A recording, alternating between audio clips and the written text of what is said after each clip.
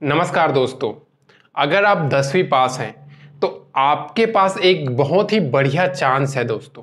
Agriculture विश्वविद्यालय के तरफ़ से दसवीं पास वालों के लिए ओनली दसवीं पास। इसके अलावा और कुछ नहीं मांगा गया है, अलग से पोस्ट निकाली गई है।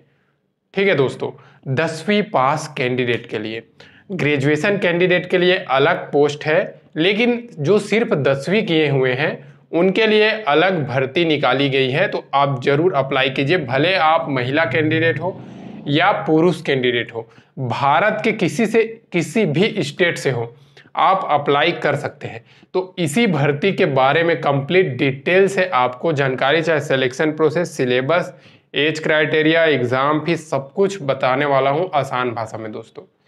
चैनल पे पहली बार आए हैं तो ऐसी मोर अपडेट के लिए मोर गवर्नमेंट जॉब के अपडेट के लिए चैनल को ज़रूर सब्सक्राइब कर दीजिएगा। साथ ही साथ, अगर आपको जानकारी अच्छी लगती है तो वीडियो को ज़रूर एक लाइक कीजिएगा दोस्तों। आपका एक लाइक हमें मोटिवेशन देता है। ठीक है दोस्तों? तो चलिए, सबसे पहले हम फिर से एक बार बता दे रहा हूँ एग्रीकल्चर विश्वविद्यालय, यानी कि कृषि यूनिवर्सिटी यानी कि कृषि विश्वविद्यालय के तरफ़ से जो नई भर्ती आई है, उसका सबसे पहले हम बात करते हैं, हमेशा की तरह अप्लाई डेट से। तो अप्लाई डेट इसका 28 चार 2023 से 19 पाँच 2023 तक रखी गई है दोस्तों। ये जो भर्ती है, यानी कि आ 28 तारीख से स्टार्ट हो गई। ठीक है दोस्तों?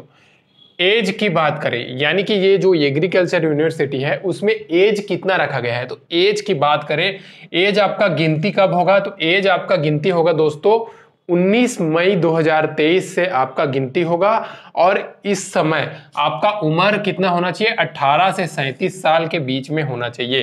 ठीक है? 18 से 37 साल जनरल ईडब्ल्यूएस कैंडिडेट 18 से 37 साल के हैं, आप अप्लाई कर सकते हैं चाहे चाहे आप महिला हो या पुरुष हो। बाकी भर्तियों में क्या होता है? ये जो एज है, वो 28 साल रहता है या 30 साल, ज़्यादा से ज़्यादा, लेकिन इसमें सैंतीस साल है अट्ठारह से सैंतीस साल। ठीक है दोस्तों? लेकिन अगर आप रिज़र्व कैटेगरी से हैं, रिज़र्व बोले तो कौन कौन सा? एससी है एसटी है ओबीसी है तो आप देख लीजिए। एस सी एस टी को पाँच साल की छूट है ओ बी सी को तीन साल की छूट है। यानी कि एस सी एस टी कितना? सैंतीस साल, सैंतीस पाँच कितना? बयालीस साल के एज तक अप्लाई कर सकते हैं। ओ बी सी चालीस साल के एज तक अप्लाई कर सकते हैं। ठीक है साथियों, ये जो भर्ती है। अब एग्ज़ाम फ़ीस की बात करें तो इसमें स्वाभाविक सी बात है दोस्तों, जब कृषि विश्वविद्यालय है तो एग्ज़ाम फ़ीस लेना तय है। चाहे वो कई भी, कोई भी कृषि विश्वविद्यालय या यूनिवर्सिटी हो, लेता ही है एग्ज़ाम फ़ीस ठीक है दोस्तों general O B C E W S आठ सौ रुपये कैंडिडेट है। ठीक है, आठ सौ रुपया फ़ीस है। फ़ीस थोड़ा ज़्यादा है, लेकिन एस सी एस टी और ऑल फीमेल कैंडिडेट चाहे वो एससी हो जनरल हो ईडब्ल्यूएस हो ओबीसी हो, कोई भी फीमेल कैंडिडेट हो, या पीडब्ल्यूडी पीडब्ल्यूडी यानी कि विकलांग कोटा हो, विकलांग कोटा में जिस कैंडिडेट का 40 परसेंट से ऊपर है, उनका बता रहा हूँ। 40 से नीचे वालों का नहीं भाई। उनका दो सौ रुपया है, यानी कि दो सौ रुपया उनका एग्ज़ाम फ़ीस है दोस्तों। ठीक है?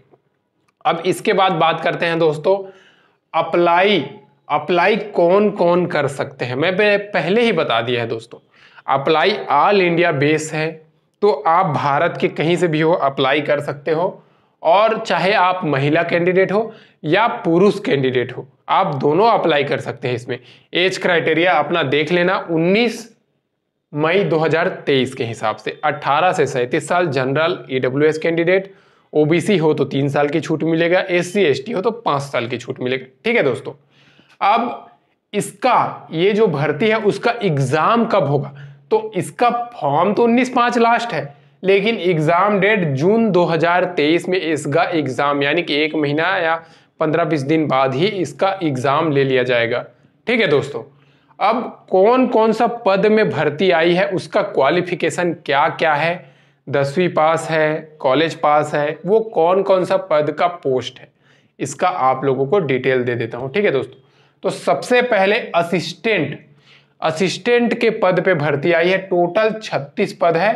Degree plus diploma in computer application चाहे आप पीजीडीसीए के हो डीसीए हो कुछ भी हो डिप्लोमा में आपका आ, डिप्लोमा होना चाहिए कंप्यूटर में ठीक है दोस्तों? असिस्टेंट पोस्ट जो 36 पद पे आई है ठीक है वैकेंसी उसके बाद लेखापाल है। अब लेखापाल में 15 पोस्ट है भाइयों, और इसमें भी सेम डिग्री प्लस डीसीए यानी कि डिप्लोमा इन कंप्यूटर एप्लीकेशन चाहे पीजीडीसीए हो डीसीए हो, मैंने पहले ही बता दिया कर लेना। उसके बाद कंप्यूटर ऑपरेटर और एक है, एक और है कंप्यूटर ऑपरेटर में, दो पद, दो टाइप का वैकेंसी है कंप्यूटर ऑपरेटर के अंतर्गत, ठीक है? वो दोनों में दस दस पद है अलग अलग ठीक है? और इसमें भी डिप्लोमा या डिग्री या डिप्लोमा इन कंप्यूटर एप्लीकेशन दोनों है। प्लस इसमें एक चीज़ और है, ये दोनों में, ठीक है, तीस वर्ड हिंदी में पर मिनट, टाइपिंग, इंग्लिश में चालीस वर्ड, वो मंगा नहीं है, असिस्टेंट और लेखापाल में। लेकिन कंप्यूटर ऑपरेटर की जो वैकेंसी है, उसमें तीस वर्ड पर मिनट के हिसाब से टाइपिंग मंगा है, हिंदी में, इंग्लिश में चालीस वर्ड पर मिनट। ठीक है दोस्तों, अब लैब मेंटेनेंस। एक, उसके बाद वैकेंसी है लैब मेंटेनर का। अब लैब मेंटेनर का छप्पन पद है। इसमें ओनली दसवीं पास ओनली दसवीं पास कैंडिडेट है। अब ये दसवीं पास अगर आप लड़का है या मेल है या पुरुष है, ठीक है? अब मेल है तो आपको साइकिल चलाने आना चाहिए। इसका एक शर्त है, ठीक है? लेकिन आप महिला कैंडिडेट हैं। तो कोई शर्त नहीं है। आप दसवीं पास है अप्लाई कर दो। चाहे आपका चालीस परसेंट ही क्यों ना हो अप्लाई करो। ठीक है दोस्तों? उसके बाद ड्राइवर के पोस्ट है। तो ड्राइवर में पंद्रह पद है। तो ड्राइवर में पंद्रह, वो भी टेंथ प्लस आपके पास जो लाइसेंस होता है ना लाइसेंस होना चाहिए ड्राइवर के पद के लिए। ठीक है? उसके बाद माली का पद है दोस्तों, माली। अब माली का पद है तो पांचवी, पाँच पद है, वो दसवीं पास रखा गया है।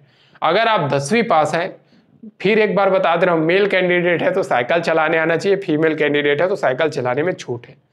ये आना चाहिए, ठीक है दोस्तों? तब आप इसमें अप्लाई कर सकते हो। साइकिल तो सभी बच्चे सीखे रहते हैं, सबको चलाने आता है, ठीक है? घबराने की नहीं है। अब इसके बाद बात करते हैं, ये जो एग्रीकल्चर विश्वविद्यालय है, उसमें सिलेक्शन प्रोसेस क्या रहेगा? तो सिलेक्शन प्रोसेस हमेशा की तरह रिटर्न एग्ज़ाम साक्षात्कार स्किल टेस्ट डॉक्यूमेंट वेरिफिकेशन और मेडिकल टेस्ट। ये है।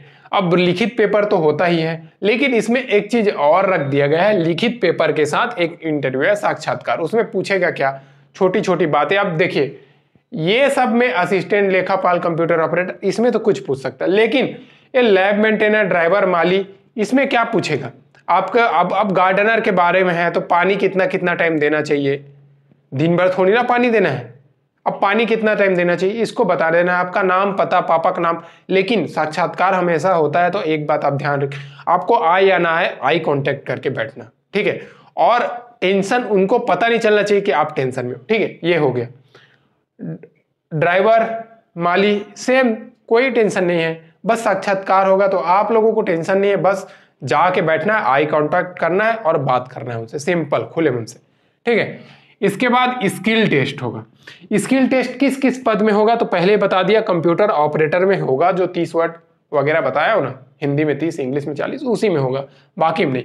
अब हमेशा की तरह हर एक गवर्नमेंट जॉब, यानी कि हर एक सरकारी नौकरी, चाहे स्टेट लेवल के हो, चाहे सेंट्रल लेवल को उसमें क्या होता है? डॉक्यूमेंट वेरिफिकेशन होता है होता है ना? उसके बाद क्या होता है? मेडिकल सर्टिफिकेट आपको सबमिट करना होता है। तो ये मेडिकल सर्टिफिकेट कहाँ बनेगा? मेडिकल सर्टिफिकेट आपका बनेगा भैया नज़दीकी जिला चिकित्सालय चले जाना, वहाँ यहाँ डिस्ट्रिक्ट हॉस्पिटल वहाँ पर बन जाएगा। ठीक है? कभी कभी एक दिन में बन जाता है कभी कभी दो दिन में बन जाता है, वो डिस्ट्रिक्ट हॉस्पिटल के ऊपर है। तो घबराने का नहीं। अब इसका सिलेबस की बात करते हैं। तो ये जो रिटर्न एग्ज़ाम है, उसमें 80 क्वेश्चन 80 नंबर का आएगा। ठीक है? ये आगे पीछे हो सकता है। अभी सिर्फ़ 80 नंबर लिखा गया है तो एक अनुमानित 80 क्वेश्चन ठीक है? 80 क्वेश्चन और एक अनुमानित दो घंटा आप मान के चलिए, दो घंटा का समय, ठीक है? और ये जो 80 नंबर के बाद 20 नंबर का साक्षात्कार होगा टोटल 100 नंबर होगा, ठीक है? और इसी से मेरिट बनेगा। चाहे आप ये किसी भी पद में अप्लाई करो।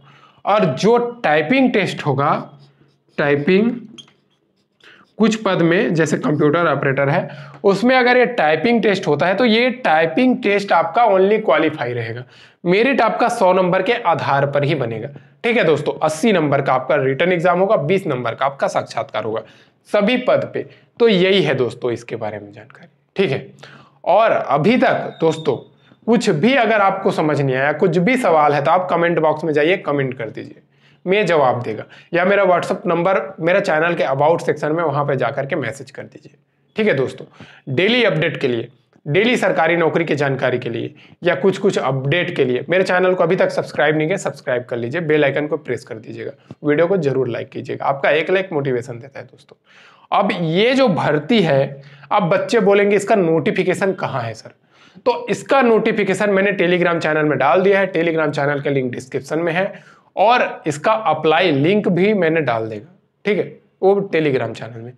ठीक है दोस्तों? आप जल्दी जाइए टेलीग्राम चैनल में और टेलीग्राम चैनल में अभी तक जुड़े नहीं है ना दोस्तों तो जुड़ जाइए, अपना लाइव बनाइए, क्योंकि टेलीग्राम चैनल में daily update daily government job की अपडेट मैं डाल रहा हूँ, चाहे नोटिफिकेशन हो अप्लाई लिंक हो, कुछ भी।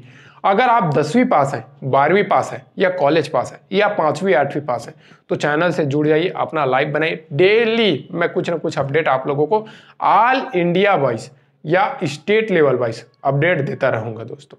आई होप चैनल को आप सब्सक्राइब कर लिए होंगे। नहीं किए होंगे तो जल्दी कर लो यार। बेल आइकन को प्रेस कर दो। मैं चाहता हूँ मैं आगे बढ़ूँ, आप सब भी मेरे साथ आगे बढ़े। ठीक है दोस्तों? फिर मिलते हैं नेक्स्ट वीडियो में नई अपडेट नई गवर्नमेंट जॉब या नई सरकारी नौकरी की जानकारी के साथ, चाहे वो स्टेट लेवल हो, चाहे वो सेंट्रल गवर्नमेंट लेवल हो। ठीक है दोस्तों, फिर मिलते हैं नेक्स्ट वीडियो में, तब तक के लिए जय हिंद।